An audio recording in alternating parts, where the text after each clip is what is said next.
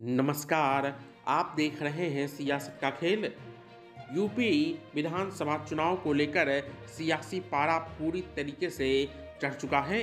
सोहेल देव Bharatiya Samaj party के राष्ट्रीय अध्यक्ष ओम प्रकाश साजभर ने यूपी के सबसे बड़े माफिया बाहुबली विधायक मुख्तार अंसारी से मुलाकात किया। वह मुख्तार अंसारी से मिलने बांदा जेल पहुँचे, जहाँ पर दोनों नेताओं के बीच करीब एक घंटे तक बातचीत हुई। इस मुलाकात के बाद यूपी पूर्वांचल की राजनीति काफ़ी गर्मा गई है। आपको बता दें कि ओम प्रकाश राजभर ने मुख्तार अंसारी से मुलाकात करते हुए जब लौट रहे थे तो पुलिस ने उनकी गाड़ी को रोक लिया।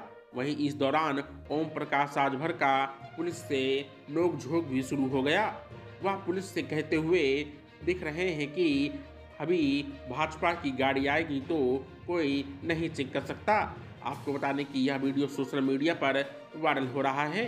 वहीं जेल में उनके मुख्तार अंसारी से विधानसभा चुनाव को लेकर बातचीत की चर्चा बताई जा रही है।